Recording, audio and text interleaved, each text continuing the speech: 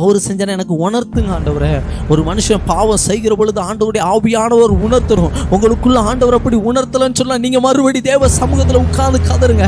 ஆண்டவரே நான் பாவம் செய்கிறப்ப எனக்கு உணர்த்துவதற்கு உணர்வுள்ள ஒரு ஆவியை தாங்க சிம்சோன் எத்தனையோ முறை அந்த உணர்வை இழந்து போனான். அவனுடைய தலைமுடி சிறைக்கப்படாது இருந்தான்.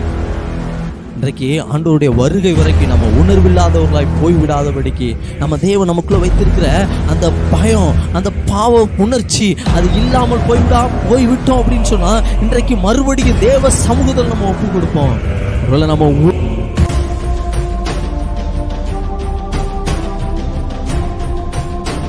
கிறிஸ்துவுக்குள் மிகவும் பிரியமானவர்களே இந்த நாளிலும் இந்த ஆன்லைன் மூலமாய் உங்களை சந்திப்பதற்கு தேவன் தந்த கிருபைக்காய் நான் ஆண்டவருக்கு நன்றி செலுத்துகிறேன்.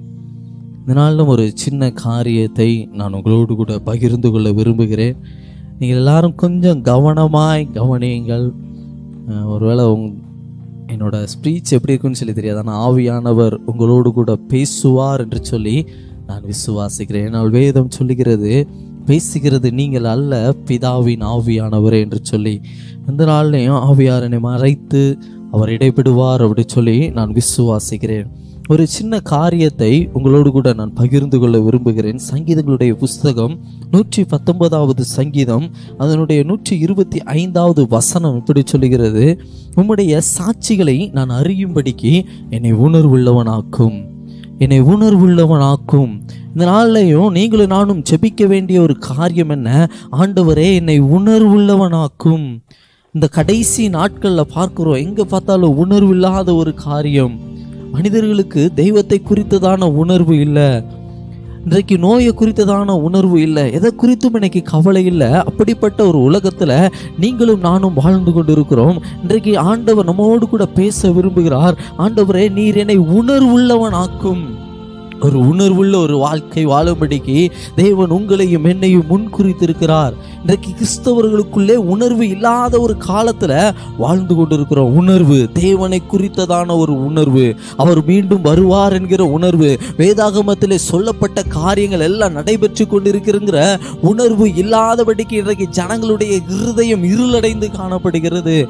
ரோமருக்கு எழுதின நிருபம் ஒன்றாவது அதிகாரம் இருபத்தி ஓராவது வசனத்தில் அப்போஸ் பரிசுத்த பவுல் ஒரு காரியத்தை சொல்லுகிறார் உணர்வில்லாத அவருடைய இருதயம் இருளடைந்ததாம். இந்த நாட்களிலே நம்முடைய இருதயம் எப்படி காணப்படுது? இருளடைந்து காணப்படுகிறதுல வெளிச்சம் இல்லை. ஏன்னா ஆண்டவர் வந்து வாசம் பண்ணலை. அதற்குள்ள உணர்வு இல்லை. அதற்குள்ள வெளிச்சம் இல்லை.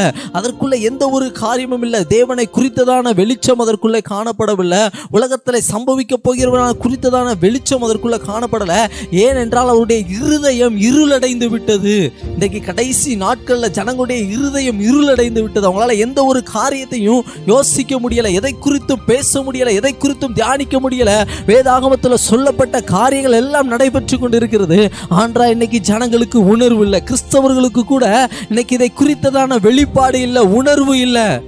இன்னைக்கு ஆண்டவர் ஒரு காரியத்தை நம்ம இடத்துல எதிர்பார்க்கிறார். உணர்வுள்ள ஒரு இருதயம். அதைத்தான் தாவித அழகாய் ஜெபம் பண்ணுகிறான். ஆண்டவரே உடைய சத்தியத்தை நான் அறியும்படிக்கு என்னை உணர்வுள்ளவனாக்கும். இந்த கடைசி நாட்களில் நீங்களும் நானும் செய்ய வேண்டிய ஜெபம். இந்த கடைசி நாட்களில் நீங்களும் நானும் ஆண்டவரிடத்தில் கேட்க வேண்டிய ஒரு காரியம் ஆண்டவரை என்னை உணர்வுள்ளவனாக்கும்.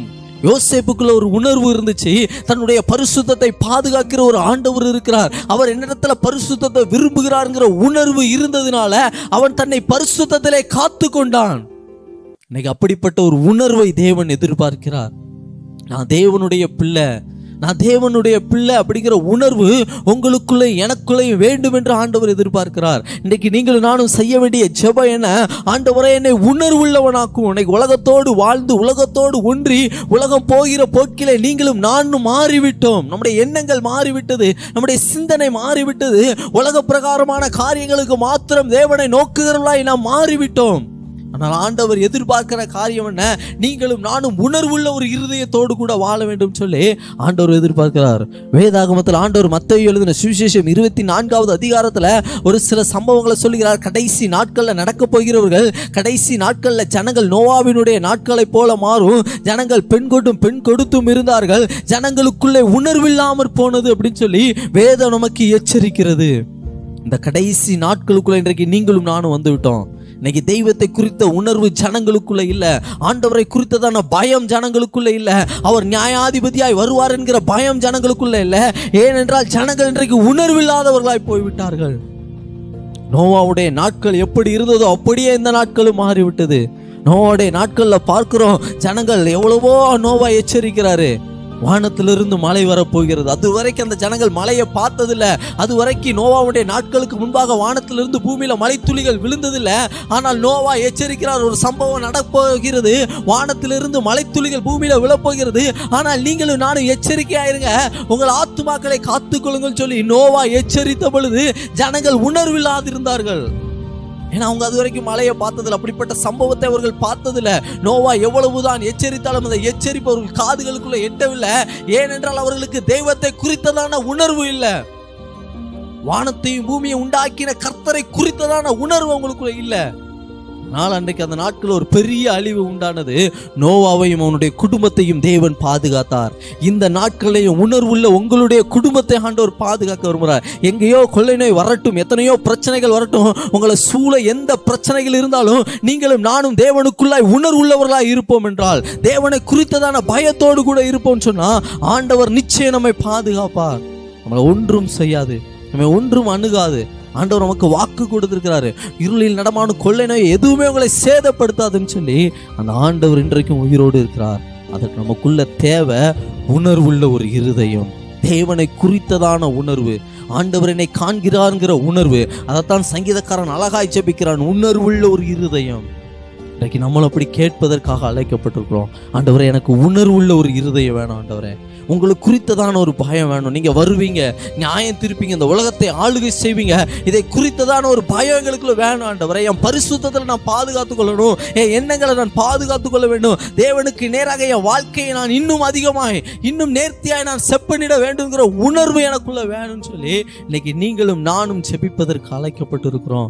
ஒரு நம்ம எத்தனையோ காரியங்களுக்காக கண்ணீர் வடித்து செபிக்கிறோம் எத்தனையோ காரியங்களுக்காக தேவ சமூகத்தில் மண்கணக்காக உட்காந்துருக்கோம் ஆனால் ஆண்டவர்கிட்ட ஒரு காரியத்தை கேட்போம். ஆண்டவரை என்னை உணர்வு உள்ளவனாக்கும் எனக்குள்ள உணர்வை தாங்க ஆண்டவரை. நான் போகிற பாதை சரியா தப்பா என்னை உணர்த்தி நடத்துங்க. நான் தவறு செஞ்சேன்னா எனக்கு உணர்த்துங்க ஆண்டவரை.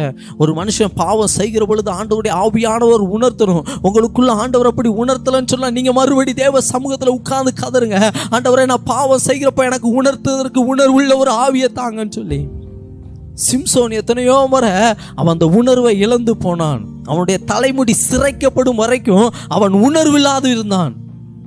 இன்றைக்கு ஆண்டோருடைய வருகை வரைக்கும் நம்ம உணர்வில்லாதவர்களாய் போய்விடாதபடிக்கு நம்ம தேவன் நமக்குள்ளே வைத்திருக்கிற அந்த பயம் அந்த பாவ உணர்ச்சி அது இல்லாமல் போய்விடா போய்விட்டோம் அப்படின்னு சொன்னால் இன்றைக்கு மறுபடியும் தேவ சமூகத்தில் நம்ம ஒப்பு கொடுப்போம் ஒருவேளை நம்ம உணர்வு இல்லாதிருப்போம் அப்படின்னா நம்முடைய முடி சிறைக்கப்பட்டு நம் கண் பிடுங்கப்பட்டவர்களாய் வேடிக்கை பொருளாய் தேவ சமூகத்தில் அவர் ராஜாதி ராஜாவாய் வரும்பொழுது நீங்களும் நானும் கண்ணீரோடு கூட தான் நிற்க வேண்டும். எனவே ஆண்டவர் இடத்துல கேட்போம். ஆண்டவர் எனக்கு உணர்வுள்ள ஒரு இருதயத்தை தாங்க. என் சிந்தனை உணர்வுள்ளதாய் மாறட்டாண்டவர் நான் பாவம் செஞ்சேன் நான் உணர்த்துங்க ஆண்டவரே. என் தலையில கொட்டி நீதிமானம் நடத்தட்டும்னு சொன்னபடி ஆண்டவரே நான் பாவம் செஞ்சேன் அப்படி சொன்ன எனக்கு உணர்த்துங்க ஆண்டவரை. நான் பாவத்தில் விழுந்துட்டேன்னு சொன்ன எனக்கு உணர்த்துங்க ஆண்டவரை. இன்னைக்கு நீங்க பாவத்தில் இழுக்கிற பொழுது நீங்க பாவம் செய்கிற பொழுது ஆவியானவர்களுக்கு உணர்த்தல அப்படின்னு சொன்னா நான் ஆண்டவர் உங்களை விட்டு தூரம் போயிட்டாரு. மறுபடி தேவ சமூகத்தில் போய் கதறி ஆளுங்க ஆண்டவரை. எனக்கு உணர்வுள்ள ஒரு இருதயத்தை தாங்க. நான் அதாவது தப்பு செஞ்சு எனக்கு உணர்த்துங்க ஆண்டவரே. இன்னைக்கு நமக்கு யாராவது குத்தி காட்டிட்டோன்னு சொல்லி நம்ம மனசு உடஞ்சிருது ஐயோ என்ன குத்தி காட்டிட்டாங்களே என்ன தப்பா சொல்லிட்டாங்களேன்னு சொல்லி. ஆனால் அது அல்ல தெய்வ சமூகத்தில் உணர்வுள்ள ஒரு இருதயத்தை கேளுங்க. தாவிதிட்ட வந்து நாத்தான் சொல்றான் நீரே அந்த மனுஷன் சொன்ன தாவிது பாவத்தை உணர்ந்தவனாய் தேவ சமூகத்துல போய் நிற்கிறான். ஏன்னா அவனுக்குள்ள பாவத்தை குறித்ததான உணர்வு இருந்துச்சு. இன்னைக்கு அந்த உணர்வு உங்களுக்குள்ள எனக்குள்ள இருக்கா? நம்மை நாமே ஆராய்ந்து பார்ப்போம். தேவ சமூகத்தில் உங்களை ஒப்பு கொடுங்க ஆண்டவரே எனக்குள்ள உணர்வு இல்லைன்னு சொன்னா எனக்கு இன்னைக்கு அந்த உணர்வை தாங்க ஆண்டவரேன் நான் பாவத்தில் வாழ்ந்தேன்னு சொன்னா எனக்கு உணர்த்துங்க ஆண்டவரேன் நான் தவறு செஞ்சா எனக்கு உணர்த்துங்க ஆண்டவரேன்னு சொல்லி தேவ சமூகத்தில் ஒப்பு கொடுங்க ஆண்டவர் நிச்சயம் உங்களை ஆசீர்வதிப்பார். ஆமேன். God bless you